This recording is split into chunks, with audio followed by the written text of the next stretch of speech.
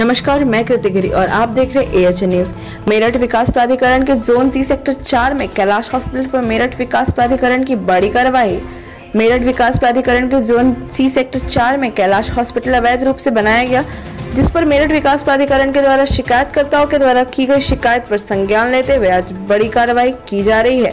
जैसा कि बताया जाता है, मेरठ विकास प्राधिकरण की टीम आज कैलाश हॉस्पिटल पहुँचे और कैलाश हॉस्पिटल का नाम तौल में, जिसमें कैलाश हॉस्पिटल में ना तो कोई साइट पर रखा है ना ही कोई पार्किंग की सुविधा। बताया जाता है, कैलाश हॉस्पिटल का प्लॉट आवासीय प्लॉट है, कॉमर्शियल प्लॉट नहीं है। जिला मुख्य चिकित्सा अधिकारी से इस बात की जानकारी ली जाएगी।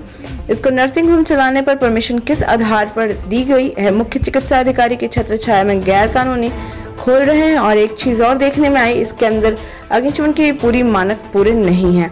अखंड हिंद न्यूज़ 24 के पश्चिम उत्तर प्रदेश प्रभारी बीके गुप्ता की खास रिपोर्ट।